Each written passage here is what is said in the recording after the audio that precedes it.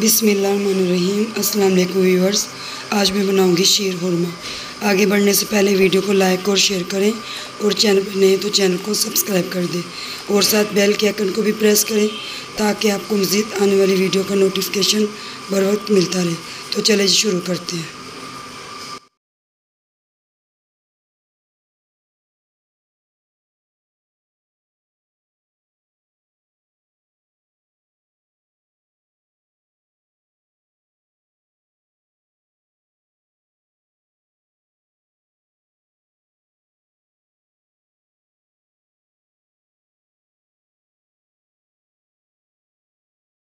Fry pan मैंने चूल्हे पर चढ़ा दिया।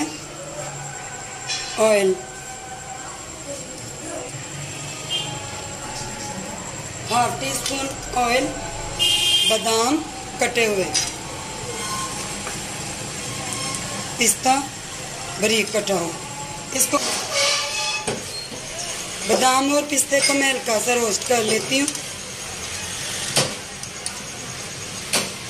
ईद स्पेशल है ये।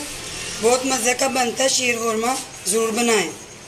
दावत पे बनाएँ, मेहमानों को बना के दें।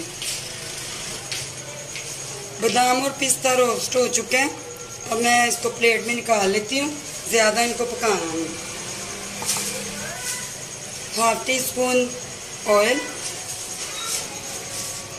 खजूर को भी मैं ऐसे ही हल्का सा रोस्ट कर लेती हूँ। इसको मैंने ब्रीक काट लिया था, खजूर को भी। ज़्यादा पकाना नहीं, क्योंकि जब दूध में सवैयाँ डालूँगी ना मैं, उसी में भी ये पकेंगी ना, सारी चीज़ें। खजूर को भी मैंने रोस्ट कर लिया, अब इसको मैं अभी निकालूँगी।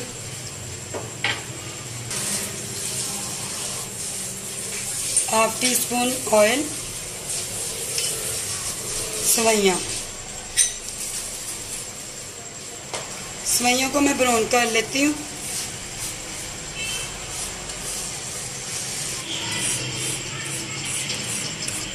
सवाइयाँ ब्राउन हो चुकी हैं अच्छा सा कलर आ चुका है अब मैं इसको उतारूँगी फ्राई पैन को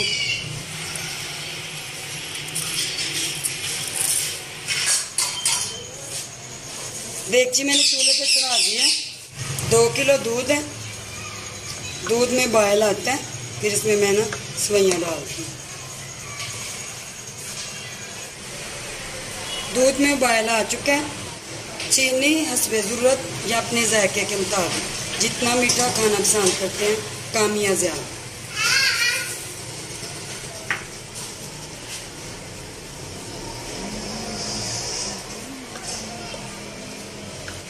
सवैया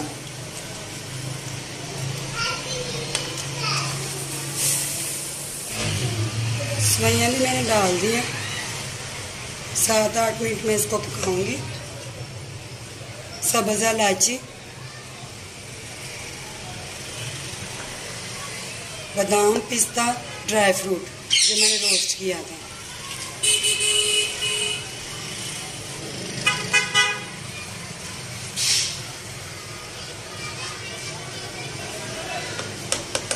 सात आठ मिनट इसको मैं पकने देती हूँ। खजूर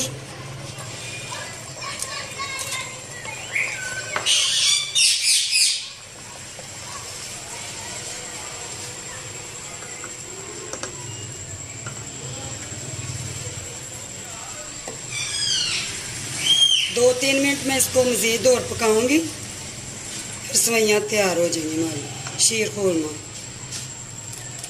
दो तीन मिनट और मैं पकाती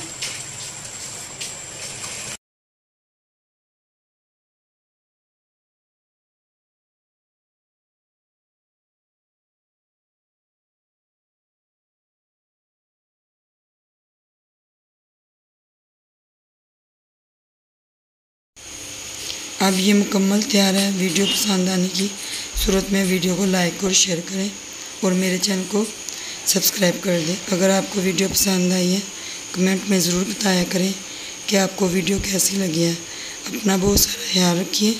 मुझे दीजिए इजाज़त। मिलती हूँ मैं अगली वीडियो के साथ। ओके जी, अल्लाह हाफिज़।